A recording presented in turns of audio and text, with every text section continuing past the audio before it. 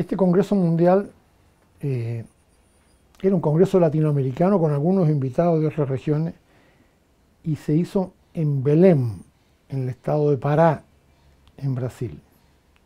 Nunca llegó a concluir, porque cuando estábamos inaugurando el Congreso vino el golpe de Estado que derrocó al presidente Joao Goulart. Y varios de los presidentes de federaciones, porque estaban todos los presidentes de federaciones de estudiantes de América Latina, empezamos a ser cazados por la policía y por los organizadores del golpe.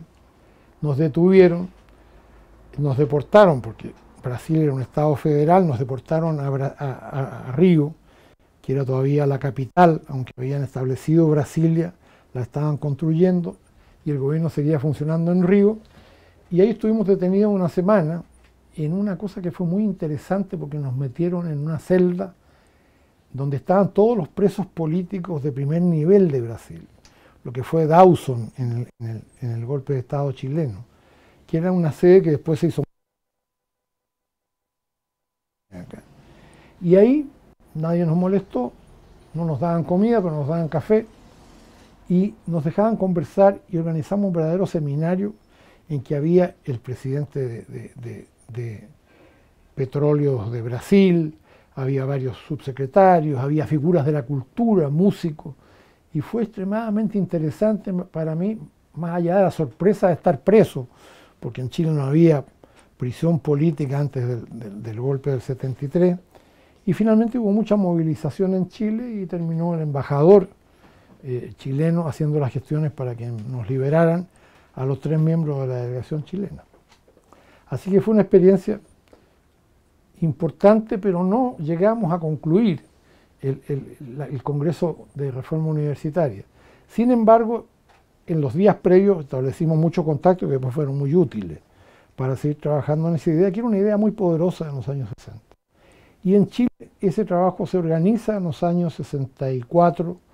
en que yo fui presidente de la FE, 65, y el 66 ya empieza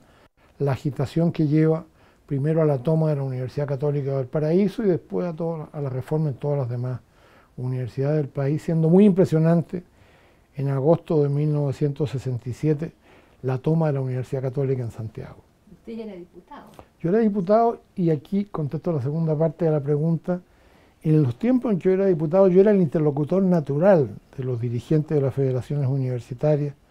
Organizamos sesiones especiales en la Cámara. En cada uno de los casos en que estos movimientos estudiantiles levantaron plataformas de cambio en la universidad, apoyamos desde una comisión especial, que fue temporal, no fue permanente, ese proceso y yo creo que fue uno de los grandes motores de transformación social de los años 60 y de democratización del país, la reforma universitaria. La Universidad Católica, tanto en Santiago como en Paraíso, era una universidad muy hermética, muy ligada a visiones eh, religiosas, con poco pluralismo, con poca aceptación de gente con otras convicciones u otras ideas, con largos cursos obligatorios de cultura católica y con un debate mucho más pobre en esos, años que el resto de las universidades que eran más amplias y abiertas. Y luego se convirtió en lo contrario. Después de la reforma, la universidad con Fernando Castillo Velasco como rector, con la creación del Centro de Estudio de la Realidad Nacional y con numerosas modificaciones en los programas de las diversas carreras, se convirtió en una universidad